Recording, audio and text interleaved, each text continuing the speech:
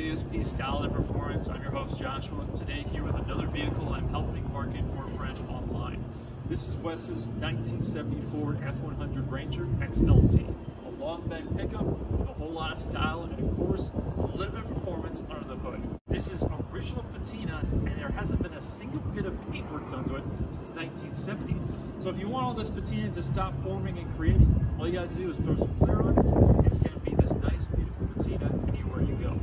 Now it's got a little bit of chrome on the front bumper and of course the trim from front to back and it's got a toolbox set up in the back in case you want to take this thing up on the job site, pull all your tools in there, it's going to be nice and secure and of course protected from the Florida sun and weather.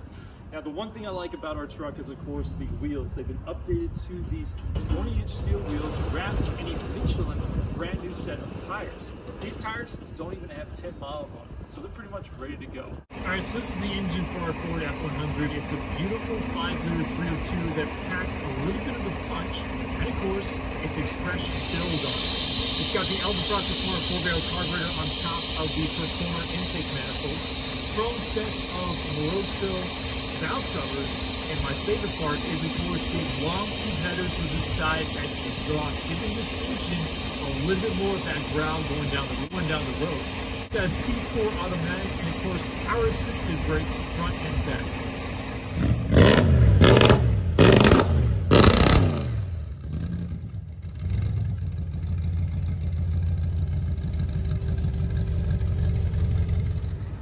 Now the interior has been updated quite a bit since 1970. It's got a brand new set of door panels, a brand new bench seat, new carpeting, and of course there has been a little bit done to the dash and actually the driving function of the truck. When this truck came out in 1970, it was a three-speed manual on the column. Uh, and now it's been switched over to a C4 automatic and they put in a B&M ratchet shifter put in a pretty cool hard cider shifter on here. Now, if you don't like this, well, luckily it can be removed and had a smaller one put onto it. Um, also, the pedals on the floor, you still have all the original pedals, including the clutch. Now, the clutch no longer works because it went from manual to an automatic. Also, the other thing about the truck is that this truck came as an AC car. Now, the AC is not currently hooked up. However, it's quite easy to hook it all back up together. All you're going to need is a compressor on the hood and a condenser, and of course, a little bit of lines to run into the dash here, and of course, get it up and working. But it's got your controller here and all that ready to go. And this is a pretty cool truck and definitely one you're not going to see like it. All right, at the start of the truck, there is a bit of a uh, instructions to do so, and it's only just two instructions, quite simple.